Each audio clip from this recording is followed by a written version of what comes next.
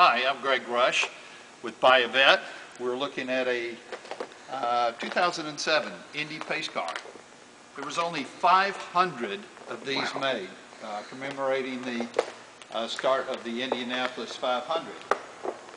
Uh, All 500, all 500 are the same identical paint with the uh, stickers on the side. And they all come basically loaded, including the Z51 uh, suspension. It's a six-speed paddle shift. That's an automatic transmission, six speeds that you can actually control manually if you wish, or leave it in the automatic mode. Uh, It comes with a uh, power top, heated seats, heads-up display. It is loaded with options.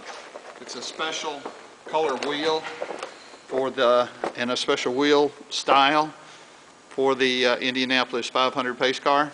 And this one is absolutely gorgeous with no apologies. This has never been scratched or hit and has been well maintained.